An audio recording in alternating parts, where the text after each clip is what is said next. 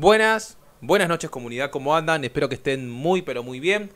Vamos a estar avanzando con los últimos análisis de este domingo. Vamos a trabajar con BTC, importante siempre, información importante que tenés que saber. Y también le vamos a sumar otras cripto que me parece también muy pero muy interesante, por lo cual te tenés que suscribir al canal. Like también la campana, me parece que con eso es más que suficiente. Se pueden sumar tanto en Instagram como en Twitter, si no, trabajar con nosotros de manera privada en el grupo privado que tenemos en Telegram. ¿Cómo se unen? Tienen que mandar un mail a Invertite Oficial. Es un Gmail, lo tenés a mi derecha a medida de que vayas disfrutando el video, si no, en la descripción. Bueno, para el día de hoy me parece que está bueno trabajar primero BTC, tanto a nivel semanal, ¿sí? Vamos con BTC, vamos a ver qué tenemos. Bien, primero que nada que tener en cuenta que ha terminado una vela semanal, ¿sí? Y la vela semanal lo que nos puede indicar por lo menos es que todavía, a pesar de ello, mira, acá está. Es roja, pero Seguimos todavía por encima de la media importante, esto hay que tener en cuenta, con una pendiente negativa, pero que no tiene fuerza porque está todavía por debajo de 20 puntos, o sea, mínimamente. Esto nos indica que todavía sigue siendo alcista. BTC a nivel semanal, es decir, la tendencia principal sigue siendo alcista. Y si vos querés oportunidad a nivel semanal, que es una proyección de acá a por lo menos 3 meses, estas son las zonas de oportunidad. ¿Querés poner un rango? 47, 42, 41, lo que vos quieras. Para mí esas son las zonas de oportunidad para trabajar el semanal. Vamos a un gráfico diario. El diario tiene lo siguiente y esto es información importante que se tiene que comprender. Por debajo de la media importante, con un movimiento negativo y con fuerza, como puedes ver, 38 puntos. Esto claramente es una tendencia bajista. Dentro de una tendencia alcista que puedes ver en el semanal. ¿Lo querés ver más claro? Vamos al semanal. Y yo me refiero a esto. ¿Sí? Esto es lo que trabajamos en el diario para que vos puedas observar y entender. Ahora, ¿qué, quiere decir, Gustavo? Si es bajista, cuando es bajista quiere decir que las probabilidades de ascenso son mínimas, a diferencia de una disminución. Y como puedes ver y que hemos proyectado nosotros, para nosotros todavía y seguimos sosteniendo, pero es importante tener en cuenta esto. Seguimos sosteniendo todavía el rebote para luego seguir disminuyendo. ¿eh? Ahora, ¿qué ocurre y qué es lo que estamos viendo? Que a pesar de ello todavía sigue acá y no está haciendo el rebote. Entonces, si durante esta semana vemos que todavía no alcanza a trabajar el rebote y se va acercando las medias, es decir, esta media móvil que está por acá, y se va acercando y se va acercando y no tira el rebote, a tener mucho cuidado porque acá ya hay que tomar decisiones, porque para mí ahí es para abajo directamente, ya no va a haber un rebote. Entonces, eso es lo que yo estaría viendo desde mi consideración, teniendo en cuenta que ahora ya pasó prácticamente una semana de lo que trabajamos. Eh, muy bien, bueno, gráfico de 4 horas.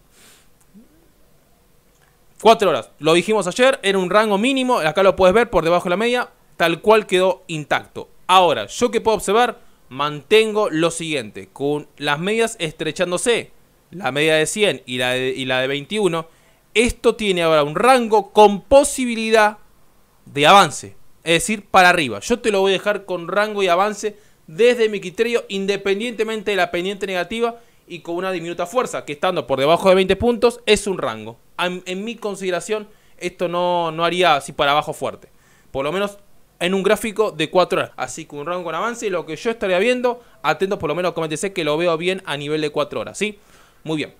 Bueno, perfecto, por lo menos con estamos, yo espero que haya sido súper claro. Vamos a trabajar con otra criptomoneda. Me habían pedido Coti, tanto a nivel semanal como eh, me la pediste en semanal directamente. Muy bien, conciso, eso está bueno. Mira, yo en semanal me adelanté para verla. Esto es claramente salsista, por encima de la media importante, con una pendiente positiva, pero con debilidad. Claramente habla de la divergencia, por eso esa disminución. Es lo mismo que BTC, lo mismo que BTC, mira. ¿Eh?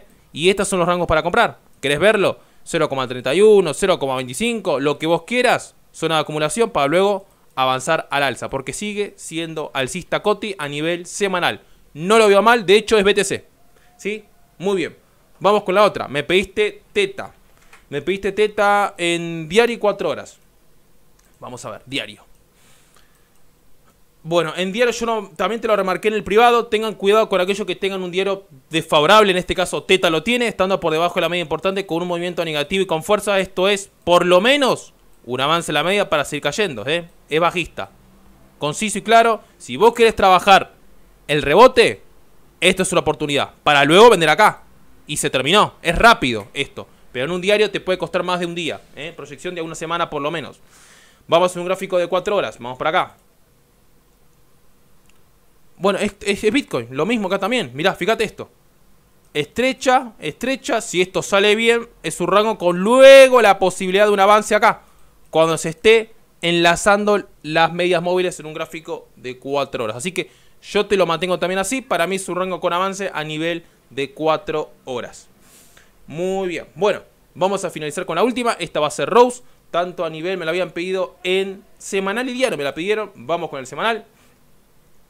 Muy bien. Bueno, en el semanal la tendencia principal, como pueden ver, es alcista, estando por encima de la media importante, con fuerza y movimiento positivo. Esto es alcista, no hay duda. Si vos querés trabajar a nivel semanal con Rose, las mejores opciones para trabajar son entre los 0,22 y 0,18 si vos trabajás a un nivel semanal. Esperate tranquilo, las horas de oportunidad están mínimamente con la mejor, ¿sí?